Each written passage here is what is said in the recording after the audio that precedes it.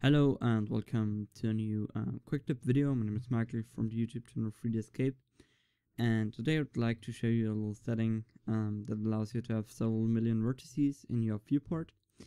And you see right now one of my older projects and I use a subsurf modifier um, to give the displacement modifier a bit more geometry, geometry to work with. And yeah, at the end I get some 0.6 million vertices, as you see here on the top uh, center. And yeah, still the viewport actually runs quite smooth. And yeah, as you may know, maybe yourself, uh, this isn't the case normally. Um, on my machine, actually Blender gets or starts to get a pretty laggy at about 1 or 2 million vertices. And yeah, you see, right now this isn't the case. And that's just to this little setting. So to enable it, you go to File User Preferences or Control Alt U. And um, when you are in the User Preferences, you go to the System Settings up here. And there's one little checkbox right in the center, and that's called VBOs. By default, it's actually disabled. So let's uh, uncheck it and you see I got a delay of several seconds, the frame rate of the viewport drops down to 1 or 2 per second, and yeah, it's pretty unusable. So check it again and read the tooltip, and it says actually, actually it just buffers the geometry for faster viewport rendering. And you see, it's true, it's just much faster.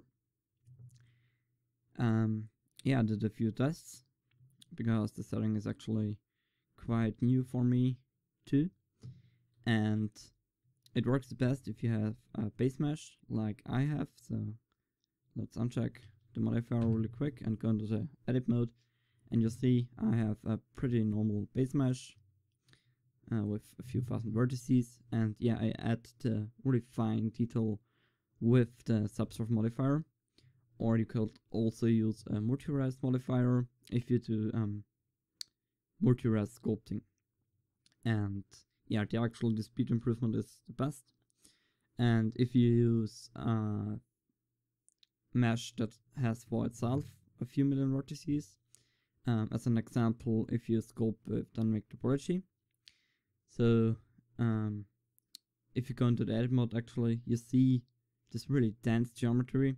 And if you select everything it just uh, says at the top you selected a few million vertices from a few million vertices and yeah if you have a mesh that's as dense as I said um, they actually the speed improvement for itself isn't as big so it works the best if you add the additional uh, details with a subsurf or a multi-res modifier yeah, that's basically it. So if you have some useful tips and tricks, or if you have any questions, uh, or actual tips and tricks to make Blender faster, or if you have any questions, um, just write them down below in the comments.